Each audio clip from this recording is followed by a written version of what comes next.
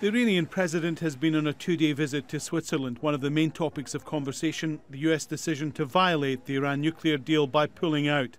Now, the US wants countries to boycott Iranian oil as part of stronger international sanctions. But President Hassan Rouhani has appeared to threaten oil exports from other Middle Eastern countries if the US pushes ahead. Eh, it is incorrect and unwise to imagine that someday all producer countries will be able to export their surplus oil, and Iran will not be able to export its oil.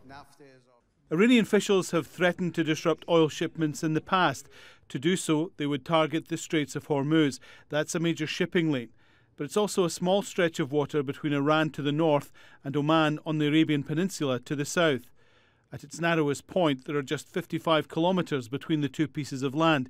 20% of the world's oil passes through here. I don't think Iran will ever need to really uh, exercise this threat. We have to remember Iran is not the only country that is upset with US pressure on OPEC or the idea of uh, the oil exports not coming from Iran. Remember, the OPEC countries, the whole reason a lot of these countries are in crises in the first place is because of the US shale oil industry, which brought prices down in the first place.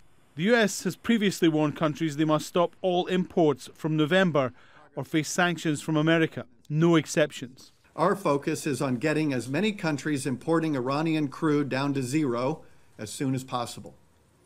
We are also working with oil market participants, including producers and consumers, to ensure market stability.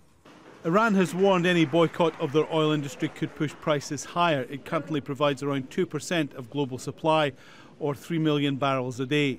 The US is already concerned about rising prices. At the weekend, US President Donald Trump called Saudi Arabia's King Salman and said they'd agreed the Saudis would boost production. But there's no sign that prices are dropping, particularly as the global economy is growing and demand for energy is up. India, South Korea, Turkey, all US allies are major importers of Iranian oil.